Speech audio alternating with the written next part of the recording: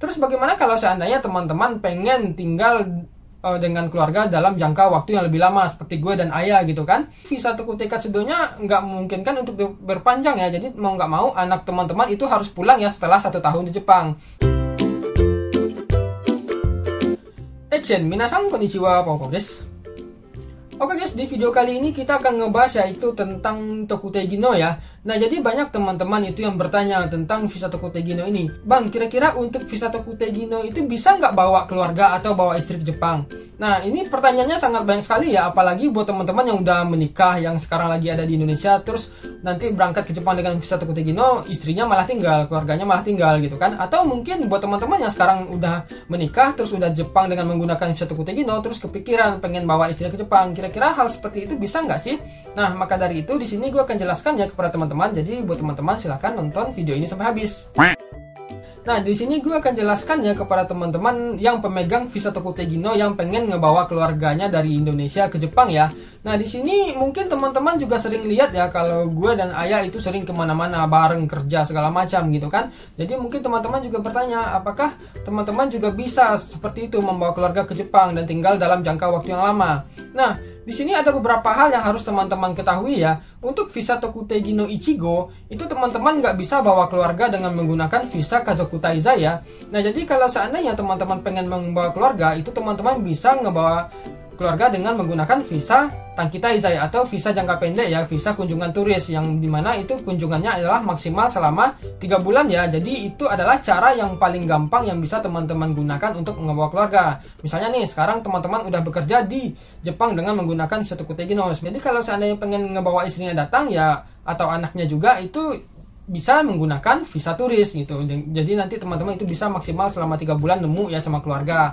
Nah, terus bagaimana kalau seandainya teman-teman pengen tinggal uh, dengan keluarga dalam jangka waktu yang lebih lama seperti gue dan ayah gitu kan?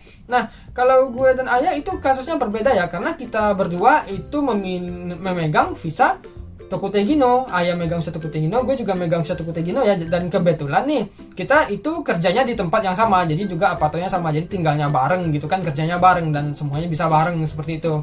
Nah jadi teman-teman juga bisa melakukan hal yang sama ya. Jadi mungkin kalau seandainya teman-teman nih pengen ngundang istrinya ke Jepang dengan menggunakan satu Tegino nanti istri teman-teman bisa uh, apa ya suruh istrinya untuk belajar lengkapi dokumen untuk Tegino nanti apply pekerjaan ke Jepang dengan menggunakan visa Tegino nanti teman-teman tinggal uh, cari pekerjaan. Misalnya kalau memungkinkan perusahaannya tinggal uh, bekerja bareng gitu kerjalah di perusahaan bareng gitu kan. Atau kalau mungkin perusahaannya nggak memungkinkan untuk kerja bareng teman-teman bisa cari perusahaan yang dekat dari perusahaan teman-teman atau perusahaan yang dekat dari apa atau teman-teman. Sehingga nanti teman-teman itu masih bisa tinggal satu rumah ya seperti itu. Nah itu cara yang mungkin bisa teman-teman lakukan jika seandainya teman-teman itu pengen tinggal bersama keluarga dalam jangka waktu yang panjang ya Nah, terus bagaimana dengan teman-teman yang mungkin sekarang udah tinggal bareng dengan pasangannya di Jepang dengan sama-sama menggunakan wisata Tekino, tetapi memiliki keinginan untuk punya anak di Jepang. Nah, sementara kan untuk Tokutegino sendiri itu kan untuk visa uh, tangki uh, Kazoku Taizai nggak bisa. Nah, gimana sih caranya? Nah, di sini gue juga udah pernah ya um, komunikasi atau diskusi dengan orang TSK ya soal ini ya. Nah, jadi sebenarnya ketika teman-teman itu punya anak di Jepang, terus uh, apa dengan menggunakan visa Tokutegino sebenarnya perusahaan itu nggak akan mempermasalahkan karena ya kita kan sama statusnya dengan orang Jepang mau punya anak juga nggak masalah cuma kan yang masalah itu adalah permasalahan dalam status visa ya kan nggak bisa tuh menggunakan visa tang, uh, Kazoku.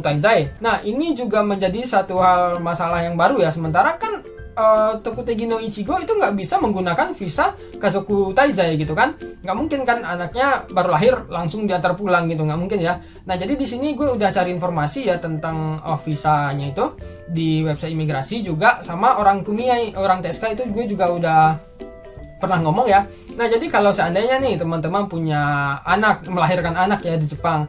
Nah, anak teman-teman itu nanti akan diberikan visa Tokute uh, Katsudo ya. Jadi visa aktivitas aktivitas khusus ya selama satu tahun. Jadi setelah satu tahun itu visa Tokute Katsudonya nggak memungkinkan untuk berpanjang ya. Jadi mau nggak mau anak teman-teman itu harus pulang ya setelah satu tahun di Jepang.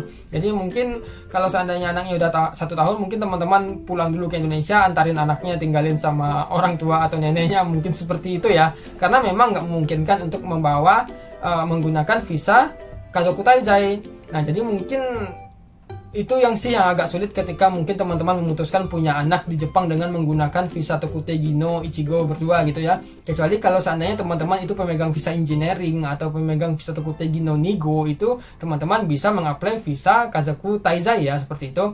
Nah, jadi lebih kurang seperti itu ya bagaimana cara untuk membawa keluarga uh, ke Jepang ya. Menurut gue sih memang cara yang paling bagus itu ketika teman-teman pengen tinggal bareng berdua lebih lama yaitu adalah dengan mengajak pasangan teman-teman juga bekerja dengan menggunakan visa yang sama. Mungkin dalam hal ini visa Tokute Gino ya. Tapi kalau mungkin teras mungkin menurut teman-teman itu agak sulit ya proses pengapaian visanya juga proses belajarnya mungkin cara yang paling simpel yaitu teman-teman bisa mengundang keluarga dengan menggunakan visa turis seperti itu ya. Tetapi mungkin untuk visa turis ini akan biayanya akan jauh lebih mahal ya karena mungkin setiap sekali tiga bulan atau mungkin dalam setahun harus mengundang keluarga berapa kali gitu kan belum lagi tiketnya segala macamnya. Itu kan juga makan uh, biaya seperti itu ya. Nah jadi lebih kurang seperti itu. Kalau seandainya teman-teman punya pertanyaan seputar visa atau segala macam itu silahkan tulis di komen. Gue jawab sebisa mungkin. Semoga video ini bisa jadi referensi buat teman-teman. Dan sampai ketemu di video berikutnya. Cut